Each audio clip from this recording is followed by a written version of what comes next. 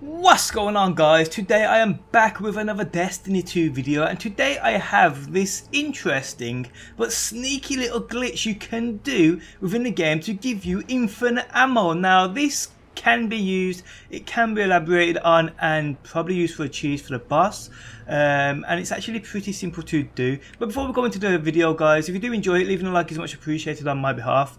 If you could reach 3,000 likes, that'd be absolutely epic. I've also got a couple of beta codes to give away as well. So two people who leave a comment and like on this video will be picked via YouTube DM. So make sure your DMs on YouTube are open so I can message you if I pick you. Okay, so basically to do this you need to be on a Warlock um, for two reasons.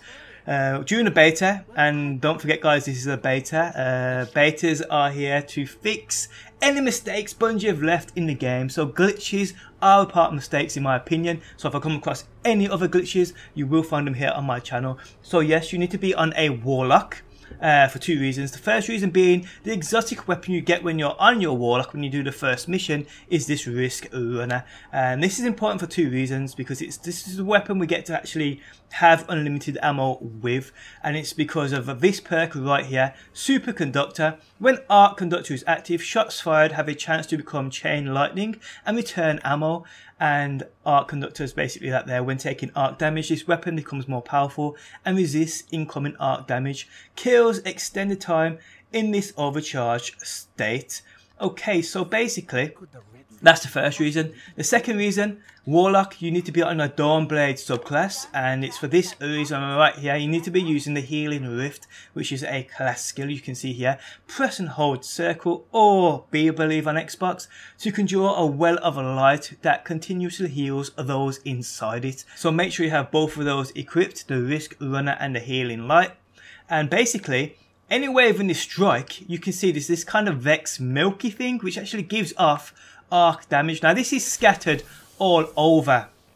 It's scattered all over this strike and all over this planet. So this will come in handy uh, for many instances if they don't patch it within the full game's release. So basically what you want to do is you want to drop your healing rift inside this milk.